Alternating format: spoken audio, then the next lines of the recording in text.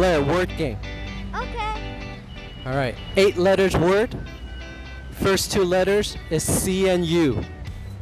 The word means one that purchase a commodity or surface. Surfaces. Is it a person that work in a shop? No. Oh. Starts with uh, two letters, C and U. And the word means one that purchase a commodity or a type of surfaces. Customer. Good job. C U S custom. C U S T U. Uh, Do try it again. C U S T. Uh. Do you want me to tell you, help you? Yeah. Okay, C U S T cus Uh-huh. Tomer.